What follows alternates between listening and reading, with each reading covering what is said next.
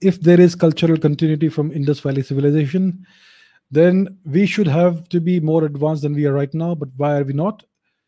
Because we are not advanced the way we should have been, because we lost our science and technology, we lost our universities, we lost our libraries, and we lost the knowledge that had been accumulated for thousands of years.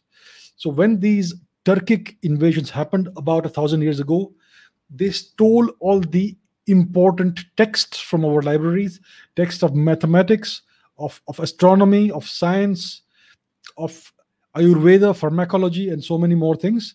They took it to their country, they translated it into Arabic. From the Islamic world, it made its way into Europe. And that's how Europe got hold of ancient Indian mathematics and science, trigonometry, infinite series, calculus, and much more.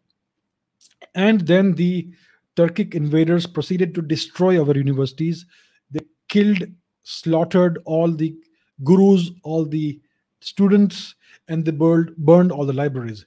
And that is how the knowledge that we had acquired over thousands of years was lost. And that is why we became basically disconnected from the knowledge that should have been our heritage. And that is the reason why we are not advanced the way we should have been if this calamity had not happened. If that if this calamity had not happened then all the technologies that have been developed in the west would have been first invented in india. The theories of quantum mechanics of relativity and everything else would most likely have been first discovered in india if all this had not happened. So the story the moral of the story is if you have a great civilization you should know how to protect it that is the moral of the story